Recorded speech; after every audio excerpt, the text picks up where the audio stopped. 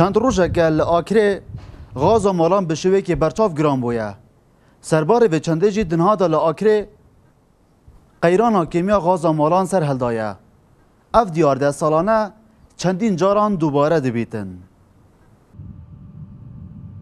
دیمنن اک جه کارگه و گورپانا فروتنا گوسکن غازا مالانه ل آکره درگه و هاتیه گرتن چونکی بش غازاوان یا روژانه نهاتیه هر ولاده که دهید بدز و دیگر رید.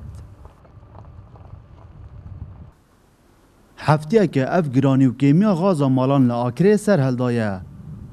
دنوکه دا ای گوز که غاز مالان لگلک جهان به زیده دری یازده هزار دیناران اندهت افروتن.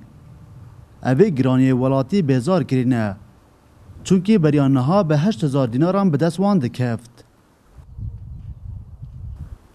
گرانیا بهای غاز و مالان و کیمیا و آرشه به خودان کارگاهان جی دروست کریه چونکه دنها دا خواست که زور لسر به غازه پیدا بویه لی آرشه یا سرکی آوان نهاتن غاز حکومی او او نچارن غاز بازرگانی به گرانی بفروشن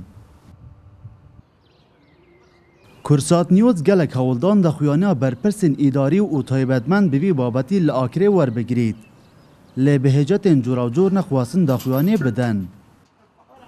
لژنەیە سوتەمەنی بەرڤۆژی وڵاتیان بێژیت قەیران ئاغاازە ماڵان لە ئاکرێن نینە.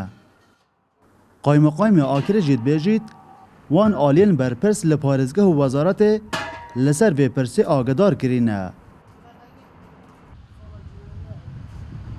دنوکەدا ترسا وڵاتیان ئەوە بەهایە گۆستکن غازە ماڵان وەکە گەلێک پێتیبێن دیتر لێ بهێت او به گرانی بمینیته و او جار گادی بارگرانی گادی تر بکویته سر مل ولاتیان